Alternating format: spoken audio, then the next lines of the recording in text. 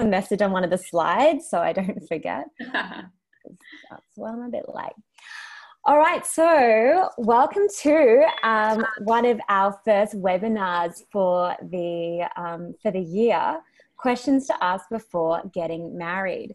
Now, if you're joining, um, you might just want to quickly mute, mute yourself, um, just so uh, we can it, it's not too much background noise. We heard a few crickets before.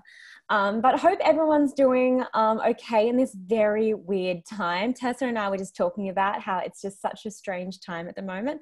But the good news is it's a Monday night and everyone's home. So that is great. So, just a little bit about us before we get started. So, for those who are new to Ladies Finance Club, um, my name is Molly. And I started Ladies Finance Club because I personally wasn't very good with money and I didn't know where to go to find the information. Um, I knew it was really important, um, but the books were boring and the men were patronizing. So we started running events, courses, and workshops, um, empowering and educating women. More, more webinars than um, events of late, um, but we're very lucky that we can do that. And, you know, for, for many women, money is, um, it can be really challenging because we face, we face unique challenges that, um, you know, are very kind of, yeah, unique to women. We live longer, we earn less, we're more likely um, to retire, we're, more, we're retiring on 47% less super than men. We are more in debt, we invest less into the stock market. Um, so it's really important that we take control of our finances. And so tonight we are talking about um, what you need to know before you tie the knot, or if you have tied the knot, maybe a couple of tips around what you can do. So um, we say, Aussies say, I will love you for richer or for poorer, yet it seems to be the for poorer bit that we're struggling with a little bit. And here at LFC, um, Ladies Finance Club, we don't want you catching any STDs, sexually transmitted debts see what we did there. Um, and actually, financial stress is the number one. Oh, financial stress is the number one cause of relationships breaking down, according to Relationships Australia. So it's a pretty important one. For those joining, we might just get you guys to mute yourselves. If you haven't, I might just quickly check. Oh, mute. Um, awesome. Alrighty. So, just quickly, can everyone type into the group chat where they are joining from at the moment? Sydney, Betsy's joining from Sydney, great. And if you can't find the chat, um, if you go up the top and push more, GC, Bondi, cool. I'm actually calling in from the Gold Coast tonight as well. Awesome, great. Everyone's working those group chats. So, really quickly, we've got a couple of rules of Ladies Finance Club. First rule is we do talk about finances. We talk to all the women in our lives about finances, our sisters, our mothers, our best friends, our aunties. Because if you want to be cruising around the Mediterranean um, in your 60s or your 70s or your 80s, you want to have your gal pals there with you. Uh, no more excuses, so no more I'm just not a numbers person. I'm not very good at finances. My partner looks after it. We're going to be nailing down on that one today. Um, you are the only one responsible for your money. And no question is too blonde. So we have a bunch of questions that you guys have all sent in. Um, amazing questions. Pretty much everyone sent a question. So thank you so much. So we're going to be going through those um, shortly. And just quickly, I thought because you know it's all about love tonight and it's all about um, relationships, just um, pop in your pop in the group chat just quickly. What's your favorite romantic movie? What's your favorite um, chick flick before we get started? Just as some um, a few more people are joining in. The official cause of death was attributed to. You can hear someone's um grim COVID news in the background. Beauty and the Beast, Notebook, Breakfast Tiffany's, awesome. So tonight we are super lucky to be having Tessa Kelman with us. Now, Tessa is a senior associate at Lander and Rogers. She's worked exclusively in family law since 2013. She's recognised as Family Law's Rising Star in the 2018 and to 2020 editions of Doyle's Guide. She was listed as a finalist in the Family Law category of the Lawyers Weekly 30 Under 30 Awards in 2019. Um, Tessa's interest in and passion for family law extends beyond her role as a family lawyer. She currently drafts head notes for the family law reports published by Net LexisNexis. Oh, I'm just getting a bit of feedback. And is chair of New South Wales Young Lawyers Committee and the Young Lawyers Representative of New South Wales. I don't think there's a lot about family law you don't know, Tessa. This is a very impressive CV. Um, her in depth knowledge of the inner workings of the family court gives her a unique insight into the way in which complex disputes are resolved. So, snaps for Tessa. Yay! Um, and we've also got um, our gorgeous Betsy Westcock, um, our head money coach at Ladies Finance Club. She's going to be answering a couple of those money, finance, relationship um, questions as well. You guys are probably all pretty familiar with Bets, um, but she's our um, kick-ass um, head money coach, and we're going to be hearing a little bit about her later on. Um, so I guess to get started, we might come back to that question. So it's going to be uh, kind of like me asking Tessa questions, and I'm going to see if I can make you the main screen here, Tess. Hopefully that works. There we go. Um, so I guess first question, you're dealing with um, couples and relationships and breakdowns every single day. What are some of the most common um, mistakes you see couples make? Um, that's a good question to start with. I suppose one of the biggest one is when a relationship does break down or people think their relationship is maybe on the rocks and they're not quite sure, they might be going through some marriage counselling. Um, I often see that people fail to sort of prepare early.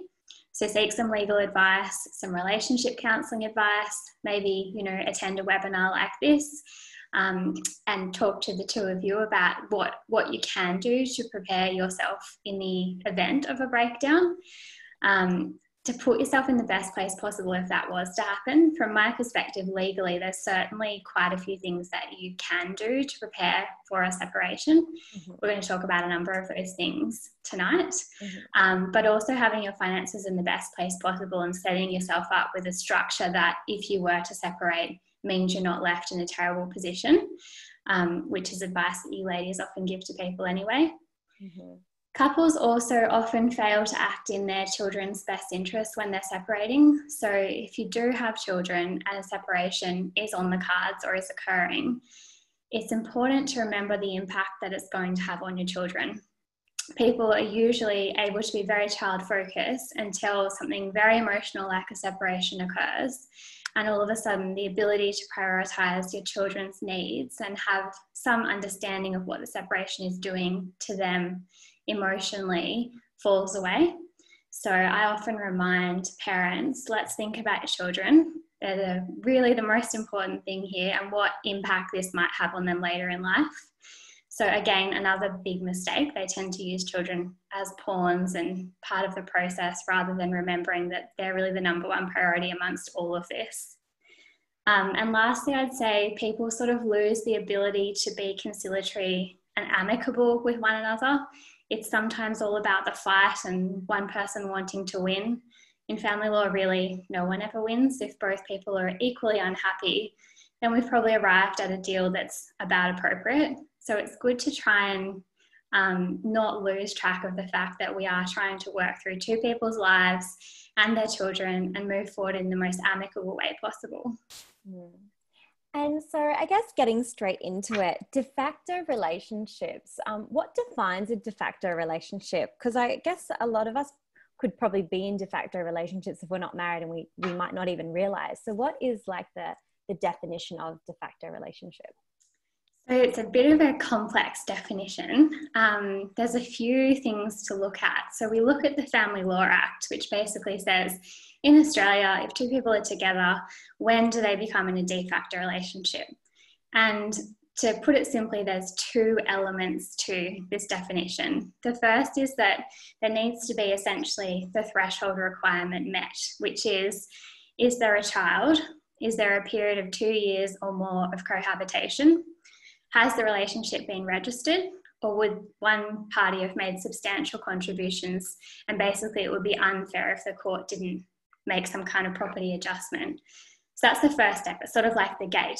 You need to open the gate first by saying we've met one of those criteria. And the most commonly known one is the two year, two years of cohabiting. That's mm-hmm. one of the gates that you can open.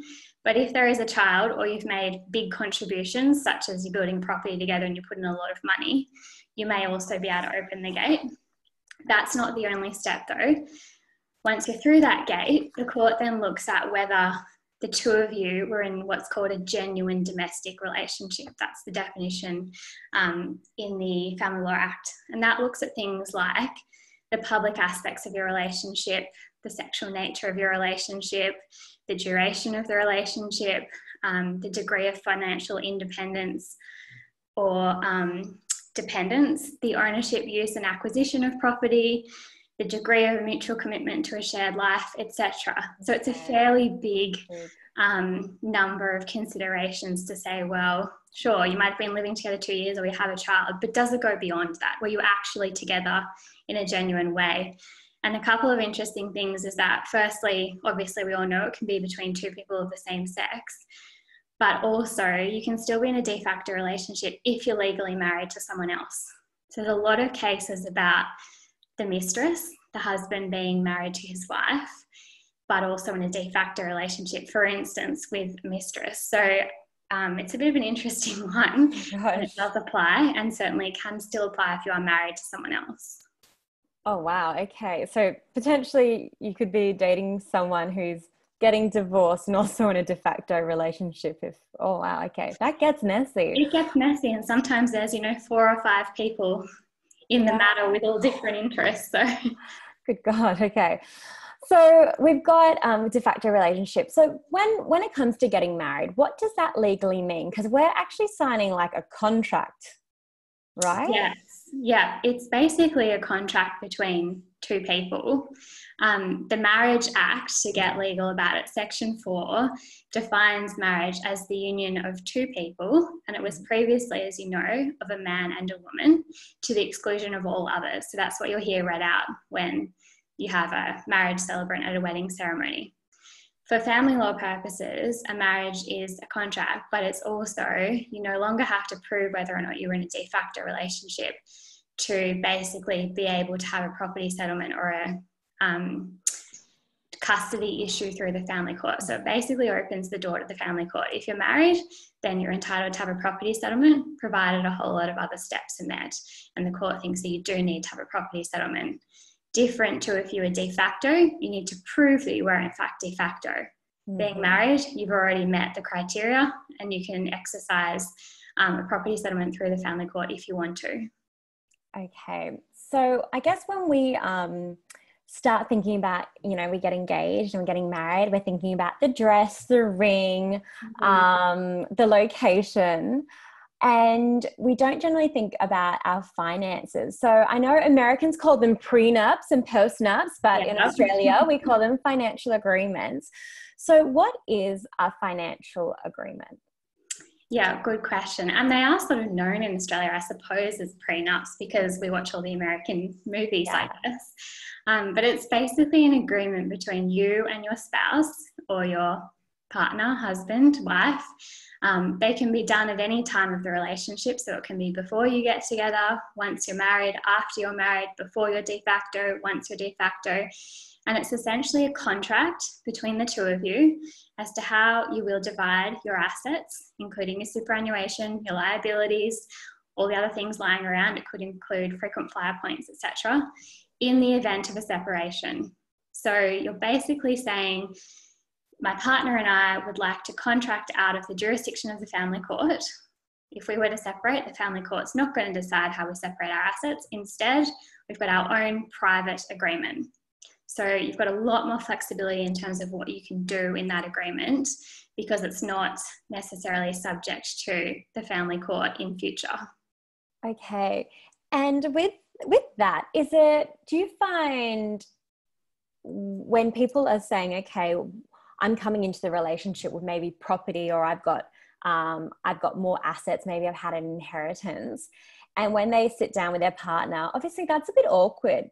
I mean, because you're, you're kind of like, oh, look, if this fails, I want to make sure I've got my stuff. Do you find that people do find it awkward, or you know, is it worth having that chat, or can you share an experience as you've, or how yeah, people approach it? It's not the most fun um, subject when it's done so close to a wedding, you know, talking about the dress and then the financial agreement. Mm-hmm. Um, so I tend to encourage people to sort of think about it as early as possible. Usually, a financial agreement is most relevant if you do have, like you were saying, Molly, assets to protect. So if you have um, properties or a future inheritance coming in, or you have, you know, a lot of money in the bank, shares, etc then it's more relevant to do one because you do have something to protect. If the two of you are, you know, you get together when you're 20, neither of you have anything in particular of value at that time and you build your wealth together, then it's less relevant because as you go along, um, the two of you are pretty much contributing equally to the relationship and it'll be probably quite fair what the court would impose anyway in those mm-hmm. circumstances. So, a good example is I had a young girl, she was only in her 20s. She'd been left a huge inheritance from her grandparents. I think it was around a million dollars. Mm. And in her grandpa's will was that if she was to marry, she needed to have a financial agreement in place before she could marry to protect that money. So for her, she could say to her husband, look, my, my grandpa's given me this money. The condition of me getting the money is that I need a financial agreement in place. So it was less awkward. Um, for other people, the other spouse usually understands if one of you does has have a lot of assets as to why you might want to say, you know, let's do an agreement. Sensible family lawyers will usually encourage you to put an agreement in place that isn't unreasonable. So it may be that if you are together for a long period of time, you you share those assets in some way. So there's all different discussions you can have, and it's better to have them earlier rather than later. And sometimes people just ask me for some advice, you know, how do I bring it up? What's a nice way to talk about it? And we talk about a strategy where it's not necessarily something that you're bringing up out of spite or to be difficult. It's more we're mature adults, we're in this together, especially if you're an independent, financially savvy woman like the ladies here probably are tonight. Yes, then you know, stand up for yourself and say, let's let's do something sensible. We'll do it together. We'll provide that anything we buy together we can split. You know, you can do anything like that. So it's a relevant document to have, but don't do it too close to the wedding. Okay, and um, where do you get a financial agreement? Do you have to do that through a lawyer? You do. So, because you're contracting out of the jurisdiction of the family court, which is a pretty big deal in mm-hmm. Australia, the family court, um, you know, relies on the family court, the Family Law Act, which is a federal act. And you're essentially saying, although we're Australian citizens and this act applies to us, we want to do our own thing. So, there's fairly strict requirements for legal advice, which is specified under the Family Law Act, mm-hmm. which basically say if, if the two of you want to contract out of the Family Law Act, then you can prepare a financial agreement. You both need legal advice. So, not just one of you. Okay. One lawyer will usually draft that document and then we send it to the other party or the other party's lawyer, and they need to have a look at the document too. We need to give written as well as oral legal advice. So it's a fairly high threshold in terms of the advice that you mm-hmm. get, and there's some cost involved in doing that but basically it's best to think of it as a bit of a insurance policy. Yeah protecting yourself. Exactly. um beth i'm going to throw to you now. So for the ladies um listening uh, love you love to hear your opinion on where you think you should have the chat. And what chat we're talking here is that money chat. So is it is the first date maybe the first bumble date's too soon? Um, date might be a bit soon, but you could decide um, on your first date how you're going to split like the cost of the date. So, um, so you know, money comes up at any point during relationship, and I think um, there's no i guess there's like you know any time is appropriate if it makes sense for you um, it's always going to be personal to your own situation and your own kind of goals and personality um, i think when you certainly by the time you start cohabitating and sharing bills sharing expenses that's absolutely the time where you need to have a conversation if you haven't already um, and it doesn't have to be scary or very like doesn't have to be serious or restrictive. It can be a really fun and inspired conversation. You know, we're moving in together. This is exciting. How are we going to approach how we manage our co expenses? What are we working towards? What are our mm. goals that we want to achieve together? How might we contribute to that? Um, so it can be really fun. It's all about how you sort of perceive the conversation and the kind of energy and mindset you bring to the conversation. So we'd love to hear from everyone. When do you think you should have the chat on that, um, on our very technical scale of when you should have the chat? Do you think it's when you become official, when you're cohabitating, when you're engaged or married, um, when you're starting a family? I know um, there was a few um, questions from ladies saying, you know, when is that right time? So it'd be great to um, hit us up on the chat with when you think that right time is. And we won't read out names, so it's going to be anonymous. Awesome. Thanks, Bets. We'll, we'll come back to you um, in a in a second. So, Tess, Tessa, yeah. when it comes to um, how we should split our finances, um, does it make so say we have um, one bank account it's all going into that one bank account and then we get divorced. Should we is there a way we can structure our finances so when it comes to the courts it's easier to find out whose is who or work out whose is who? Um, it certainly helps obviously if you've got two separate bank accounts and you can really clearly trace how your finances have been shared in the relationship, how things have been split, how much you've each been paid, etc. I might use this opportunity, Molly, to just quickly talk about how the family court would approach a property settlement because that'll provide some context to the answer to this question. Great. So, if you were to approach the court, you've separated from your partner, you don't have a financial agreement in place, and there's a reason why you need a property settlement. For instance, you might own a property together and have some joint savings in the bank account, you can't agree on how you would split that property. Usually, through a family lawyer, we try and negotiate a settlement. But if we really can't, we need to go to the court. Then the court basically follows a five step process. It's the same process that I would follow in practice. So we're all guided as family lawyers by this process. The court essentially looks at um, is a property settlement necessary? And as I said, if there's joint assets, then it usually is or if one party has far more assets than the other, and say the lady's had some children and she hasn't been working, then she's probably going to be entitled to some of the male's assets, or vice versa. So the court says, firstly, do we need a property settlement? Secondly, what assets, liabilities, and superannuation interests do the two of you have? And we prepare what's called a balance sheet, setting out what all those assets are. Thirdly, the court looks at the contributions that you've each made to the assets. And this is really where your question fits in, Molly. The court looks at your um, non financial contributions, including homemaker and parenting contributions, as well as your financial contributions. And homemaker and parenting contributions are usually considered fairly equally to financial contributions. Now, looking at your financial contributions, if you can trace back through bank accounts, it's much easier to say, you know, I contributed about this much each year but I usually tend to look at just um, employment records or tax returns to say, you know, I earned about 80,000 a year for five years. At that time, my husband earned 70,000, so we're pretty consistent in our contributions, for instance. It's not an accounting exercise, and no judge is going to sort of follow a really strict accounting regime to figure out what your contributions were. Mm. But it does help to have that certainty. The court then says, okay, well, if you've each made say it's 50 50 on contributions, they decide they're about equal. The court then says, well, do we need to make any adjustments based on the future that you each are going to have, which is called a future needs adjustment. The court looks at things like the age of each of you, your state of health, the number of children, um, your income earning capacity, and what you're currently earning. And basically says, do we need to make some kind of adjustment? Say it's 50 50 contributions outcome, but the lady or the male is a stay home parent with young children and is unable to be employed, then they're probably going to receive slightly more of the asset pool if you look at their future needs.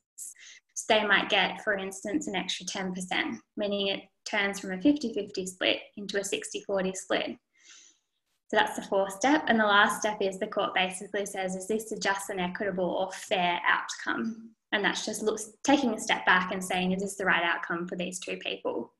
So when you look at it like that, you can see the importance of understanding what your financial contributions are. If mm-hmm. you don't do a financial agreement and you have a big initial financial contribution, such as lots of money in a bank account or a property, you will get recognition for that. You won't get dollar for dollar. But when you look at the contributions, if you've got a million dollar property and the other party has nothing, then obviously your initial contribution was much larger. Yeah. Okay. And oh, we just had a question come through back on financial agreements. Yes. It's a kind of a funny one. Um, they're like, if my partner has way more and I don't have as much, should I bring up financial agreement or should I just kind of go with the flow and hope it doesn't get brought up? strategically my lawyer with my lawyer hat on i'd say go with the flow don't bring okay. it up because it's not in your interest it would be in your partner's interest to protect their assets okay interesting. And because um, we were talking about bank accounts bets we might throw back over to you. We've had quite a few questions around like how should we manage our finances with our partner? I'm just going to pull up this slide that i know you've done in the past. Would you yeah. be able to talk us through this um, this slide here? Because it's a really good one, and I think it just um, sets it out really nicely. And also, thank you everyone for your awesome um, feedback. A lot of people are saying it's when you cohabitate. I love one um, girl anonymously. She goes, Before this chat, I would have said never. Now I'm saying ASAP. um, so good to know. Um, thanks for your contributions, lady. Um, over to you, Bets. Okay, so what we have here is our little methodology to managing your money in minutes. And um, we've taken it from the how I personally manage my money in minutes to how we manage our money. And in this, we've got a little P and a little J on the different buckets. The P represents it's an account in your personal name. The J represents an account that could be in joint names. Now, we're a little bit, um, I guess, prudent at the Ladies Finance Club, and um, we say that your money that um, that is paid to you, your income, should come into an account in your personal name.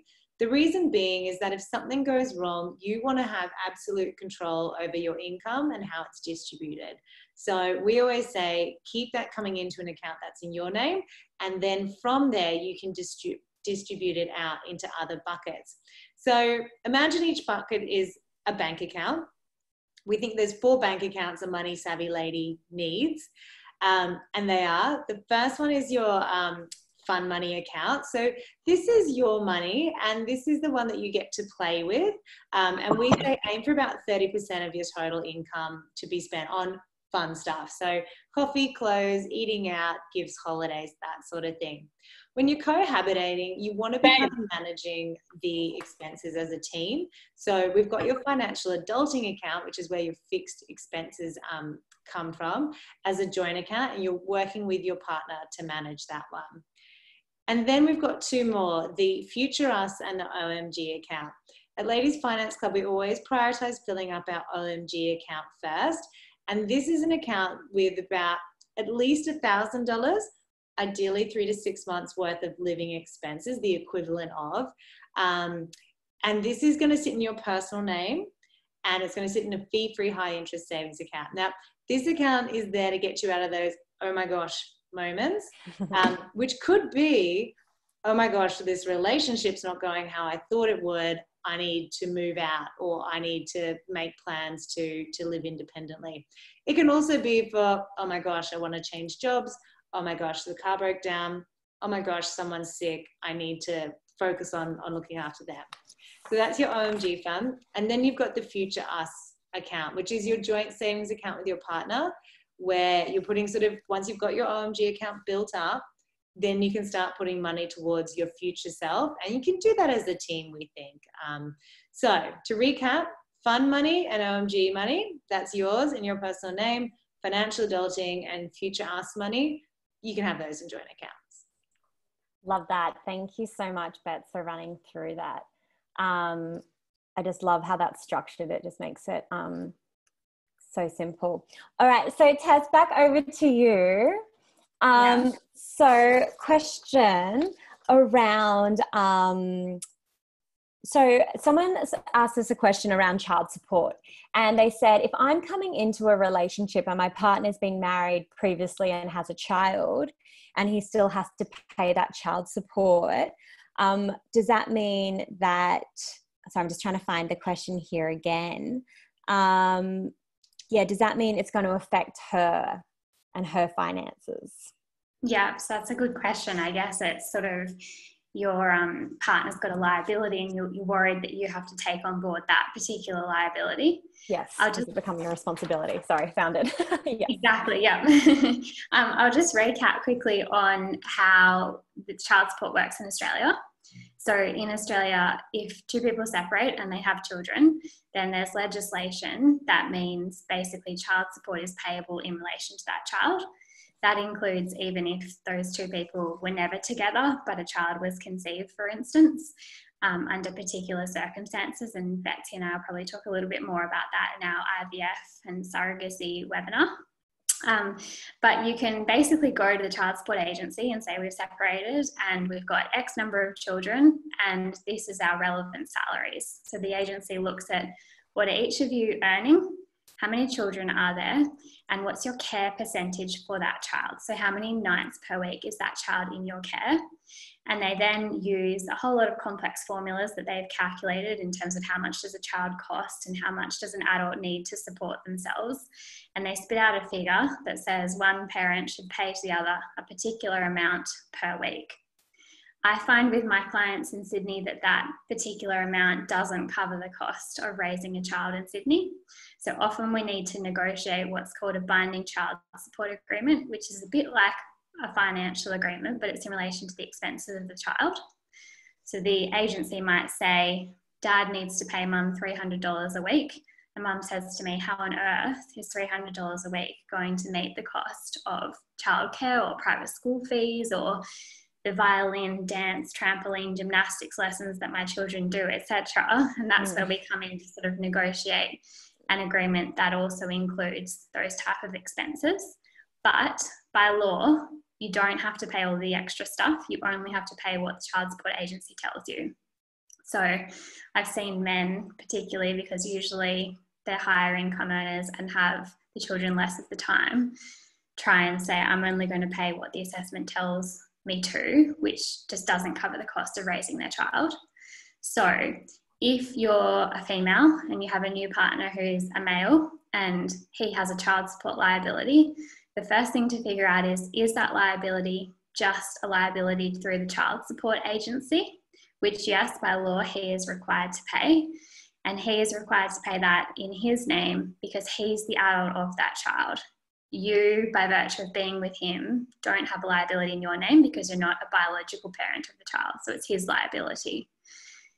Find out, secondly, whether there's a binding child support agreement in place because it could be that he needs to pay his 200 300 $400 a week in addition to half of the Knox school fees, for instance, which is a much bigger liability. So it's good to figure out, well, what are you actually dealing with first?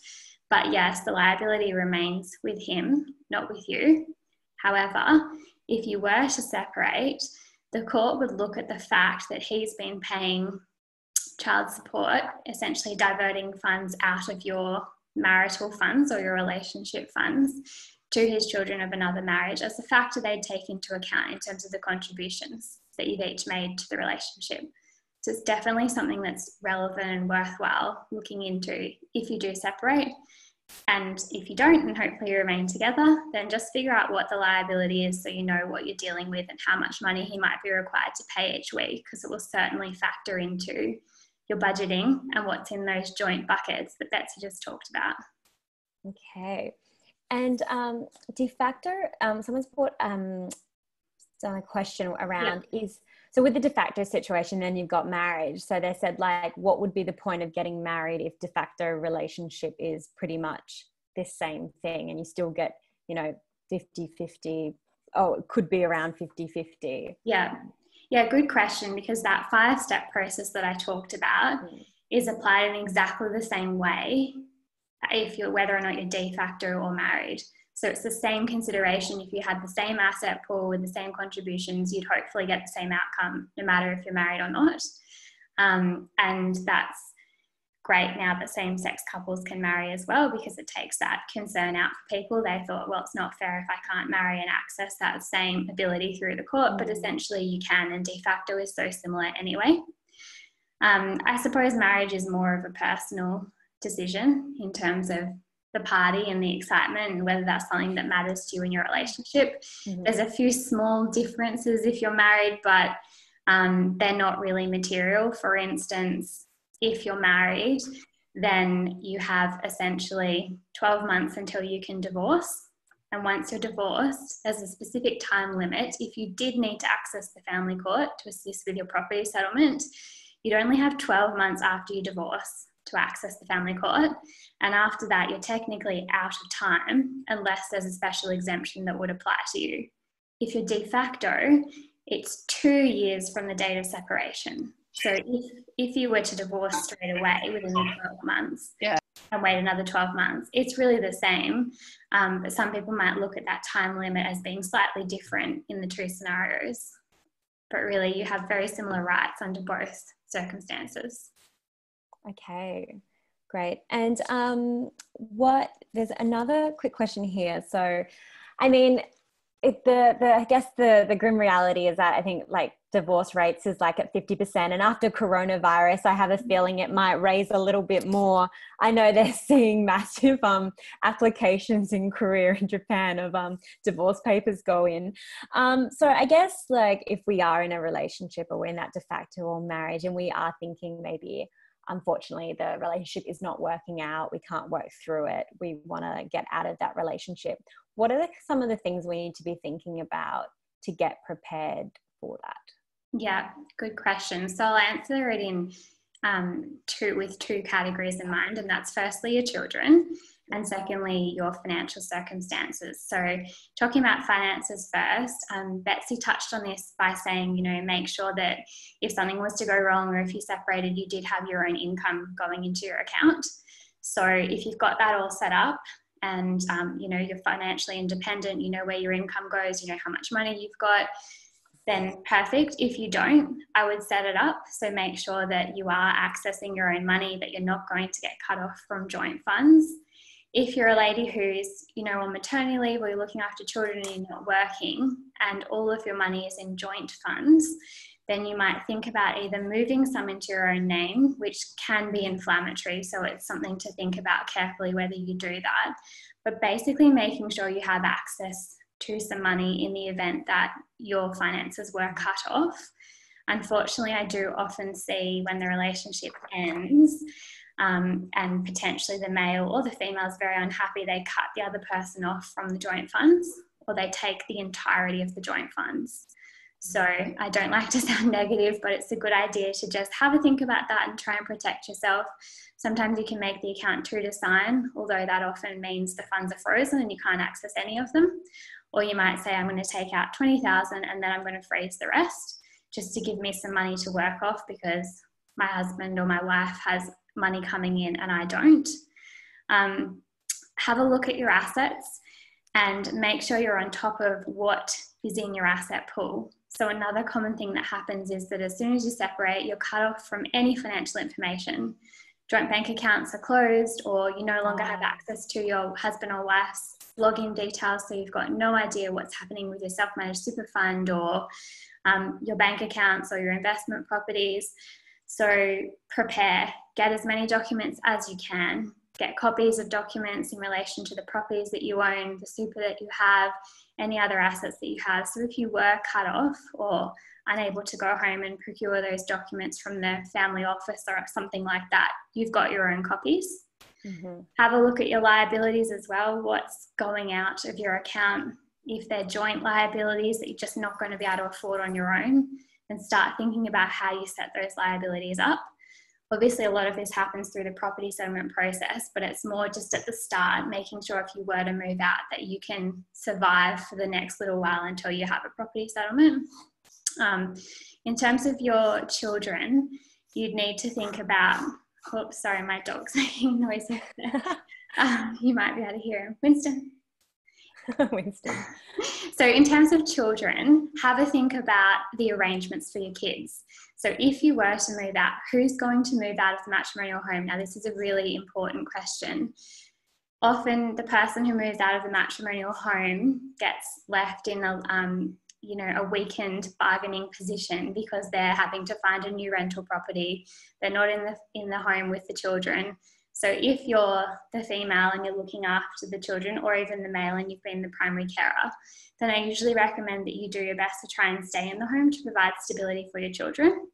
You're also in a financially stronger negotiating position because, say, the family home is the biggest asset in the asset pool, you're the person sitting in that property um, instead of, for instance, your partner who doesn't have the children is just sitting there to try and stretch you out in terms of, of financial settlement.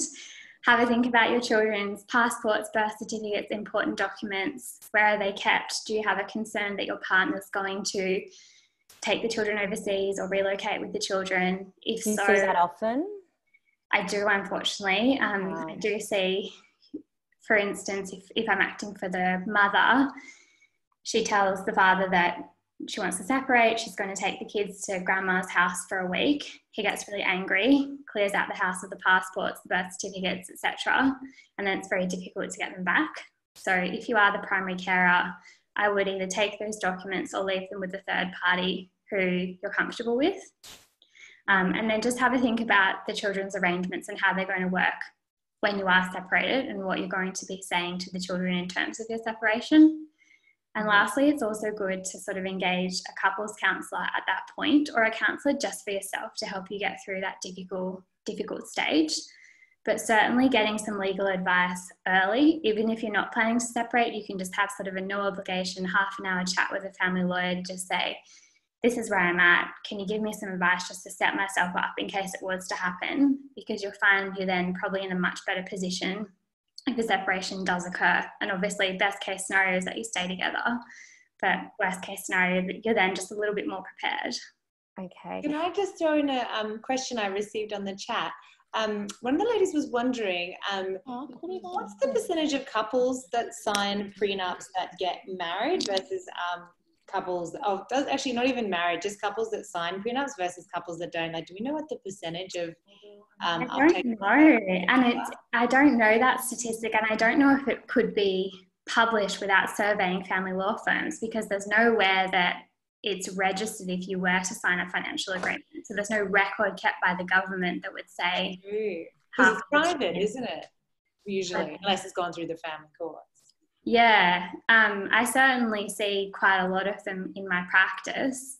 Um, but yeah, it would be hard to give a percentage. Some lawyers don't draft them because they are risky documents in terms of, you know, you need to do it properly, you need to be up to date with the law. So we're constantly updating our entire firm if there's any changes in the in the law in terms of legislation or case law. So they're quite tricky, but I, I wouldn't be able to put a percentage on it, unfortunately. Bets, just actually while you're there, um, a question that we did come have come through was um, from one of the ladies. She goes, uh, Look, um, we're both in our, my partner and I both in our mid 30s. Um, we're financially independent people. Uh, we're six months into our relationship. My partner is resistant to having the money conversation, stating it's too early in our relationship. So, when obviously we spoke a little bit about that, but also how can I bring it up with them? Yeah, it is a great question, and it, it will um, be something that might need a bit of um, what do we say, nimbleness in when navigating. So I always start with what's your money story? What messages did you receive around money growing up? Uh, how was money spoken about, not spoken about at home? Um, you know, what's what are your thoughts, your feelings, attitudes to money? Having that understanding of where each other are coming from, how each other are wired um, in terms of our um, the way we think and behave around money, it will be a really good place to start. And I think always come from the mindset of wanting to understand, wanting to work together, and wanting to be a team. Um, if you if you come with that mindset and you also communicate that that's your intention, I think that just dispels a lot of the walls that often are immediately put up when we um, talk about the money chat. And then I think moving towards um, what are we doing as a couple, and and using that as a bit of a trigger for for bringing up finances because as you start running a home together you're going to have to talk about some kind of money mm. management. So, starting with something small like how are we going to pay our joint expenses together um, is a great place to start, and usually one that everyone's pretty pragmatic about. They're like, yeah, joint expenses, like just like you got to talk to your housemates about joint electricity bills and the internet and who ate my loaf of you know artisan bread, those sorts of things. So, start with that. And then as time progresses, start with your goals as a couple. So often saving towards a joint holiday is um, one of the first forays you'll have into um, in terms of um, both a joint expense but a joint goal together. See how that goes. See what you pick up about each other. Um, and then move it on to later like okay if we are going to come together as a couple what does that mean financially um, do we, you know, are we going to invest as a couple? Do we keep separate bank accounts? Are we going to join them? Um, and if it's something that you feel like, okay, I am just like not equipped to have this conversation on my own, there is wonderful help out there. You can get help from a financial coach. You can get help from a financial um, relationship, uh, sorry, not financial, a relationship counselor. And I can't recommend them enough. I know everyone thinks that talking to a relationship counselor must mean things are going wrong. I see talking to a relationship counselor as like um, wanting to keep things going right. It's like taking your car in for a service and getting a tune up. Um, might be a hard one to get past the boys, but hopefully, um, hopefully, you know, it might work. Give it a go. Let me know how it works for you. So those are my tips. Mm. Start with expenses. Start with a small goal, and then talk about how we're going to come together as a team and always come from a place of, I want to understand you. I want us to be the best team we can be. How are we going to conquer things together? I love that because I do know, I remember at um, our Love and Money event we did, um, the relationship counselor did say one might be a spender and the other might be a saver. And that's quite common. Um, that's mm-hmm. quite a mm-hmm. common combination they see in relationships. And then they also um, talk about maybe if someone plays the CFO in their relationship, like the chief financial officer, so they'll be they'll take charge of the bills, but making sure the other is always included in that conversation. Yeah, and that is really important because my my husband and I like I obviously love talking about money. No surprises there. Um, he is a little less interested in it. Um, so we run it that you know I am the family CFO, um, and I kind of do the day to day stuff, but we always have a date sort of night every kind of quarter. I know Barefoot says monthly, but fucking that happens way too quickly. Sorry, Barefoot. so it's sort of quarterly, um, where we come together and we always are um, making big decisions together. Um, I'm always keeping him up to date on um, everything that's going on um, and making sure that he has you know access to all the information he needs to have access to to all the money knows what's going on and is very much a part of the decision. He just doesn't like the day-to-day stuff whereas i love the day-to-day stuff. So being a finance geek that's how we do it. So and that's really common amongst a lot of couples as well and that's perfectly okay yeah, and actually, ladies, um, if this is helpful, we've also put together some conversation starters for you. So this is on our website under ladiesfinanceclub.com slash resources. And it's questions to talk, um, some questions you can um, talk to your partner about. We always say, you know, um, leave the house um, go somewhere neutral. Um, so if it's his house or your house, let's take it somewhere neutral. So it might be a restaurant park. And then we have 18 questions that you can talk to your partner about. Um, so we've got some time for questions now. So if you've got a question for Tessa or Betsy, now would be opportunity. So you can either ask us online or you can ask us on the group chat. Um, while we're um, waiting for that, we just had a, another um, another quick question actually, and I think this one's an easy one, Tessa. um, the difference between civil partnership and marriage. A, a few people have been asking what's the difference, but is that just terms? Um, a civil partnership used to be popular for same sex couples. It's essentially registering your, your relationship because they couldn't get married, so they might have had a civil um, ceremony to show their commitment to one another. And at that point, they were basically registering their relationship as being de facto anyway, so they'd have the same rights as a married couple through the family court. Mm. So a civil partnership is basically a recognition of your relationship, which would mean that when you look at the doors that you need to open to get to the court if you wanted to prove you're in a de facto relationship, you'd more easily meet that threshold if you did that. Okay, awesome. Is there um but is there a card you'd recommend to okay so we had a question here um, i joined late so I've missed it is there a card you'd recommend for shared expenses for couples and do you recommend credit card or debit card so we did kind of go over that a little bit um, anna we will um, be sending out the recording of this um, so betsy explained how you can um, us uh, lay out your finances with your partner and how that works um, so you can check that out. Um, Bets, I don't know if you just want to touch on that question again. Yeah, so quick recap is the account in which you receive your income, keep in your personal name. Um, the account for your OMG fund, keeping your personal name. But anything for like paying um, joint bills or working towards joint goals can be in a joint account. As far as credit card, debit card goes, um, I mean, debit card means you're spending cash you actually have and you can't get into trouble. So that's always good. But look, credit cards as a tool in and of itself are absolutely fine as long as you know that you will only spend what um, is within your means.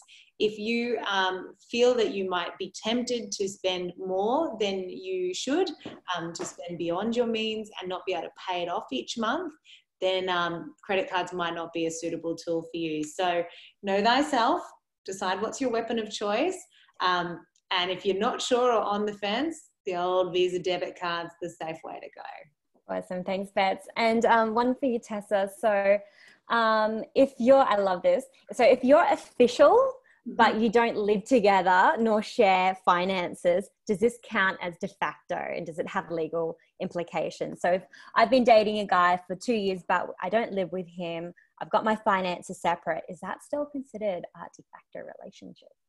So we look at those threshold questions. Um, if your finances were entirely separate and you hadn't made any substantial contributions to each other's property and you weren't living together and there was no child, then you'd be less likely to be de facto. However, the court would look at were you in a genuine domestic relationship?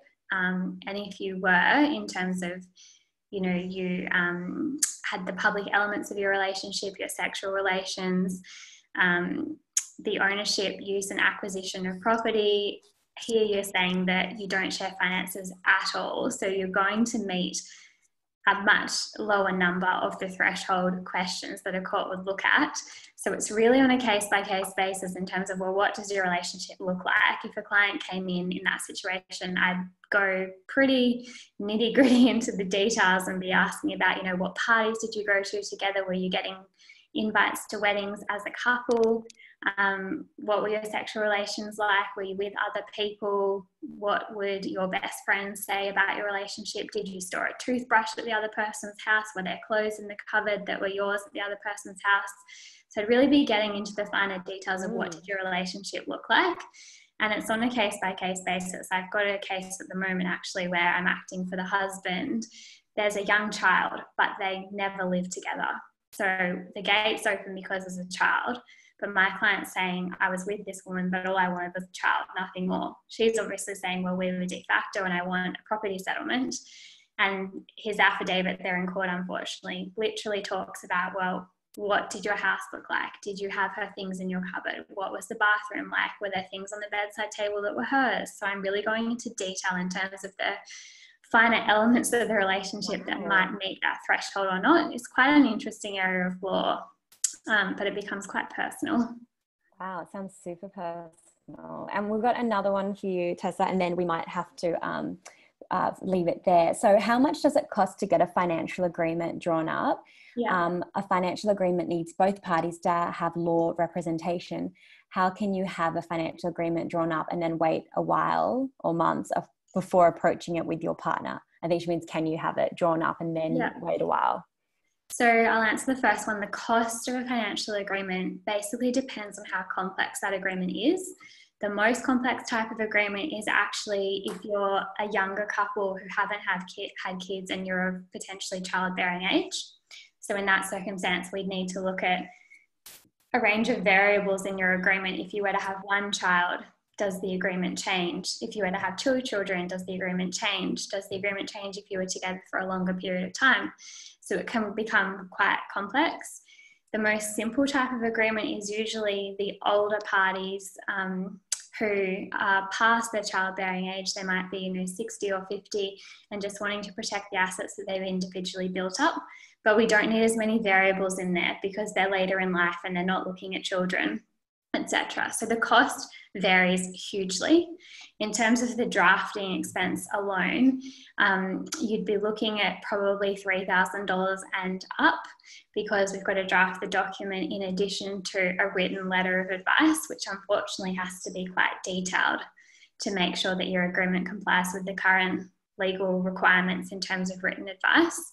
So, usually I quote sort of $5,000 and above for all of that, including talking to you, getting your instructions, looking at um, what we need to do in the agreement, drafting the agreement, giving the advice. But then your partner also will need to pay some lower fees just to have the agreement looked at from their perspective and the advice given to them. So only one party has to pay the biggest part, which is the drafting fee. Um, you can have it drawn up at any point. So often people will come to me and say, Can we work on a document that I'm happy with? And once it's in a form that I'm ready to talk to my partner about, I'll find the right time. You can choose to do it whenever you want. The only um, warning I have is doing it before a big event, such as the birth of a child or a wedding or something like that. If you're really pushing it in terms of time limits, then the agreement might suffer um, in terms of its enforceability in future if there was a situation of duress. For instance, you know, we're two weeks away from the wedding, you've got to sign this, the other person's feeling pressured. So if there's a big event coming up, you do want to do it as far in advance as you possibly can. Otherwise, timing is really up to the two of you in your relationship and when you feel that the dynamic and the timing is right. Okay, awesome. We just had one more come through, and it's quite an interesting one. So she was saying if you are in a de facto relationship and you don't have a will, this is a little bit kind of in depth. If you don't have a will, um, would your money, so if you're in de facto relationship, you don't have a will, would your money go to your family or would it go to the partner? So it would depend if you're, so you are de facto. Um, it would depend if your partner actually commence proceedings to try and extract their share through the family law system. So to do that, you would need to have proceedings on foot before death. So, for instance, just to put it into a real life scenario, because it's a little bit hard to understand, if I was in a de facto relationship and my partner was terminally ill, for instance, and I wanted and I knew that I wasn't catered for in the will of my partner or they didn't have a will, and I wanted to protect my interests because we just separated, then I would go to a lawyer and say, lawyer was me, I would advise myself that you should commence proceedings before the death of your partner because you essentially then get your foot in the door of the family court. If your partner was to die and there's no will in place, you haven't commenced family law proceedings, then their assets would basically go to their estate. And I'm not an, a wills and estates lawyer, but as I understand, their assets would go to their estate and it would be dealt with through the wills and estates legislation in terms of how it's divided and whether you could make a challenge on the estate if you weren't catered for in any way. So, usually, if you have separated and you're worried that a partner is terminally ill, whether you were de facto or married, the advice would be to just get your foot in the door in terms of having proceedings on foot, just to make sure that you can continue, because you can continue after someone dies, those family law proceedings to extract your entitlement from a family law perspective from the family court which may be a different entitlement to what you would get if you challenged the will or the division of the estate because they look at different criteria.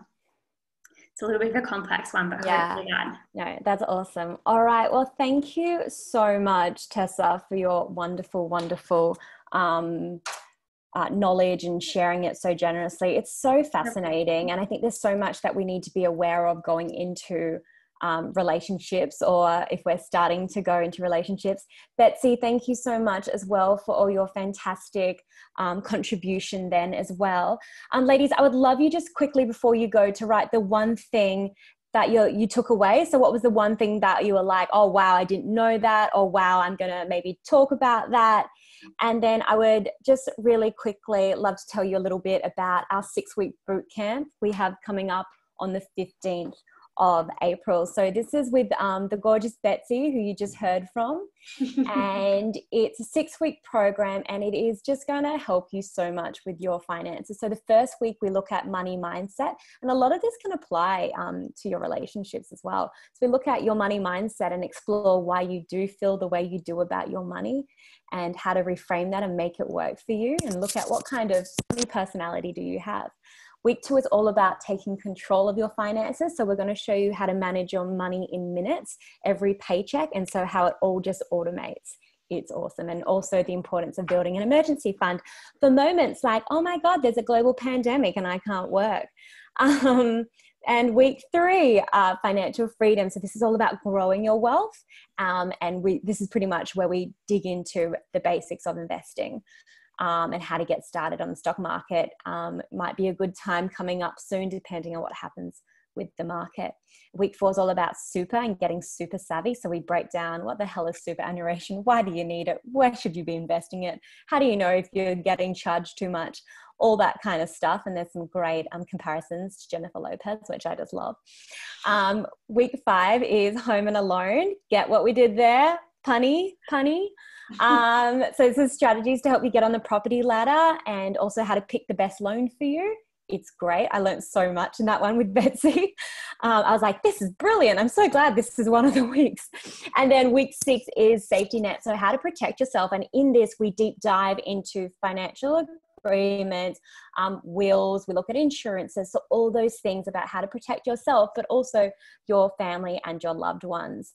Um, so that's that. We also have a bunch of free webinars like this one. So we are, we just love helping as many women as possible. And this is a really strange time and it's really sad as well. People are losing their jobs. People are, um, their income is dramatically decreasing. So we've got Lisa Simpson, who's an ex-financial um, counselor and she's kind of like an expert in debt. And she's going to be going, looking at, you know, what are the benefits you're entitled to? Um, how um, who's who's there to help you, um, ways to stay out of debt, um, ways that you can settle your debt, um, and also yeah, deep diving into what are the COVID um, benefits, and also with super, should you be taking that? Um, should should be great to chat to if you have any questions on that. We're also doing Business Finance 101. So, so many businesses were started in the last global financial crisis uh, WhatsApp, Pinterest, um, a whole bunch of them, Airbnb. Um, so, if you're thinking about maybe you want to start a business or a side hustle, this one is like the 101 of what you need to know about the business finance because if your business doesn't make money, if your idea doesn't make money, it's a charity or you're not going to make any money and that's kind of not why we go into business. So it's going to be a good one. It's just going to be basic 101 um, and then we've got starting a family as a same-sex couple and this is happening next tuesday or tuesday the 7th of april with the lovely tessa and with the lovely betsy so you can sign up to all these on our website or um, we have them on Facebook. Oh yeah, and Home and Alone. So we're just, um, we've got a property expert and mortgage broker and she's going to just be talking about how to get on the property ladder and just answering some Q&As on that. That should be great. Um, and yes, please stay in touch. Just going to do a quick recap of some people. So this is awesome. So someone had no idea about financial agreements, so they learn about that great to understand the definition of de facto. Tessa explained it so clearly. Snaps for you, Tessa. um, smiley face, learned about what financial agreement is and why it's so important. Practical tips. Oh, thank you so much, ladies. This has been Um, awesome. We hope you got lots out of it and stay in touch. We have a Facebook group, we have Instagram, we're on all the social channels. So hopefully, this won't be the last time we meet. And um, yeah, if you want to come to our boot camp, everything's on our website, www.ladiesfinanceclub.com. Thank you so much.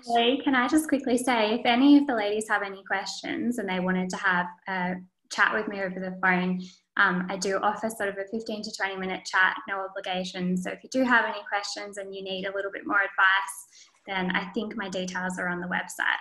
And are you okay, Tess, if we include your details in the follow up email to everyone? Yeah, absolutely. I know there's um, probably more questions that people wanted to ask, so feel free. And thank you, everyone, so much for your amazing engagement and um, all your energy tonight on a Monday. Hashtag adulting hard. Thanks, everyone. All right. Bye.